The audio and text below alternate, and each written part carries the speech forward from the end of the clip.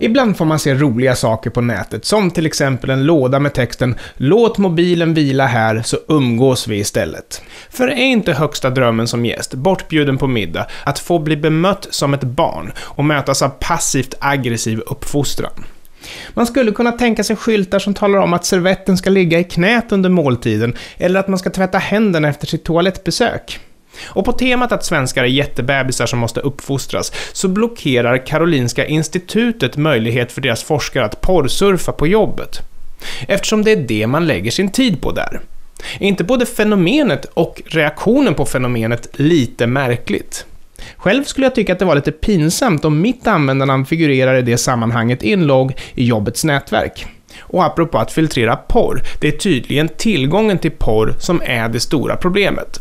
Vilket rimmar väl med att vi är barn som ska uppfostras av media.